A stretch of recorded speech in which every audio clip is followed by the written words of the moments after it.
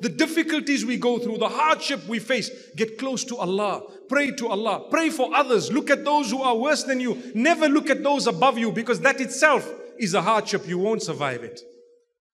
You have a problem. Let me give you some of the hardships people face today. Financial hardship.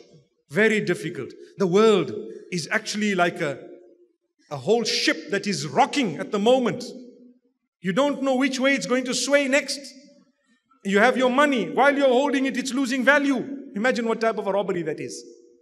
I'm holding it. It's in my hand, but it's going. I hold it tight. I sleep with it under my pillow. When I get up in the morning, it's half its value. What happened? Well, it's a hardship. How do I go through this?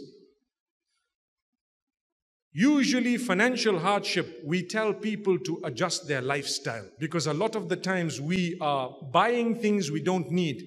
We are spending money based on what we used to have in terms of finance. Now we don't have that, so don't have the same buying habits. Call your family together and tell them, look, we are going through a little bit of hardship. We will have to remove you from that school because we cannot afford the fees. Be honest.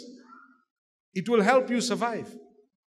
We cannot afford the fee anymore. So I'm going to take you out and we're going to put you into another school. Explain to them. If you don't want to tell your children that because you're too embarrassed, don't. But tell your spouse, explain to them and convince them somehow that we're going to take you out of the school and put you in another place. Sell the product to them. But you have to downgrade your life.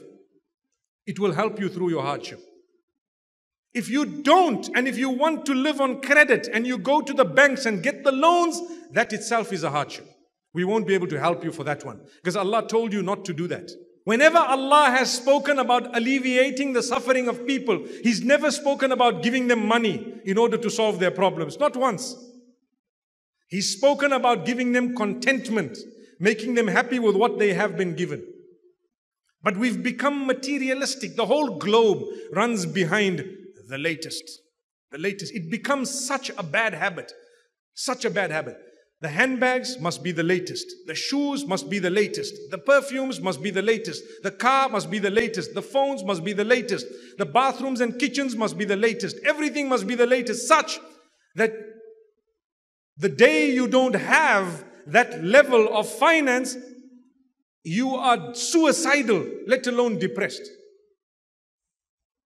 So, one of the ways of helping yourself through financial hardship is by adjusting your life and don't be embarrassed to do that because you will be a role model to others. Role model.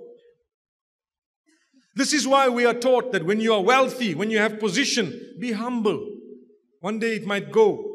If you were close to the ground, when you fall, you don't really get hurt. You stand up and you just walk again. But when you're flying in the sky and you fall, your balloon popped, Allahu Akbar, what happened? You came crashing down and as you fell, you broke all your bones. It was embarrassing. Now I can't even get up. That's why when you have it, you have the fame, you have the name, you have the wealth, you have, humble yourself. Still greet the people. Talk to them. Be okay with them. You know, try and help as much as you can. Smile. Go to the masjid. Read in the first saf or whatever else. Be a man. I know of some extremely wealthy people who wouldn't miss a salah. I know of a brother who would not miss an adhan. Adhan.